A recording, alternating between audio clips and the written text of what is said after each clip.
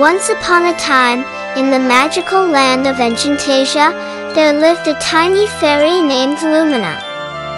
Lumina was no ordinary fairy, she possessed a special gift, the ability to make dreams come true. Her wings sparkled with the colors of the rainbow, and her laughter sounded like tinkling wind chimes. Enchantasia was a place filled with whimsical creatures and enchanting landscapes. There were talking animals, friendly gnomes, and mischievous pixies. Lumina, however, stood out among them all, not just because of her magical powers, but because of her kindness and compassion. One sunny morning, Lumina woke up with a glimmer of excitement in her eyes. She had a feeling that something extraordinary was about to happen. As she fluttered out of her tiny flower petal home, she noticed a soft glow emanating from the heart of the enchanted forest. Curiosity bubbled inside her, and she decided to follow the gentle glow. Deep within the forest, Lumina discovered an ancient tree with golden leaves. As she approached, the tree began to speak in a gentle voice, Lumina, you possess a gift that can bring joy to the world. But to unlock its true potential, you must embark on a magical journey and share your light with those in need. Excitement filled Lumina's heart as she listened to the wise tree. She knew she had to set out on an adventure to spread happiness and make dreams come true. Her first stop was the Meadow of Wishes. A beautiful field where dreams transformed into twinkling stars. Lumina waved her wand, and the meadow sparkled with a shower of stardust.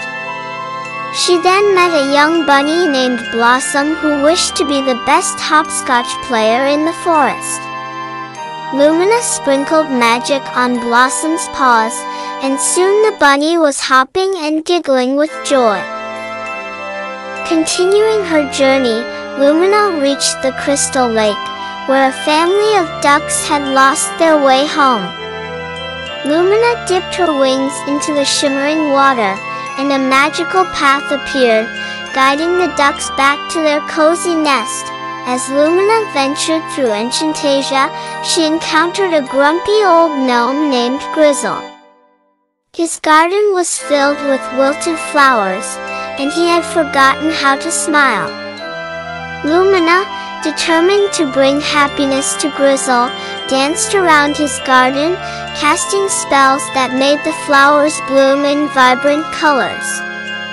Grizzle couldn't help but crack a smile, and soon he joined Lumina in a lively dance. Word of Lumina's magical journey spread throughout Enchantasia. Animals, fairies, and gnomes alike began to believe in the power of dreams and kindness.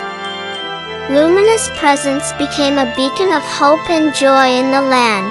However, Lumina also faced challenges. A mischievous shadow named Murk, jealous of Lumina's radiant light, tried to cast a gloom over Enchantasia. Murk whispered doubts and fears to the creatures, attempting to extinguish the magic Lumina had brought. Undeterred, Lumina gathered her newfound friends and organized a spectacular festival of lights. Together, they created a dazzling display that banished Murk's shadows and filled Enchantasia with an everlasting glow. As Lumina's journey unfolded, she realized that the true magic was not just in her abilities but in the love and kindness she shared with others. The once divided land of Enchantasia now thrived as a united and harmonious place, thanks to Lumina's unwavering spirit. The golden leaves of the ancient tree rustled with satisfaction as Lumina returned to express her gratitude. The wise tree spoke again, Lumina, your heart shines brighter than any magic. Remember, the real enchantment is in the joy you bring to others.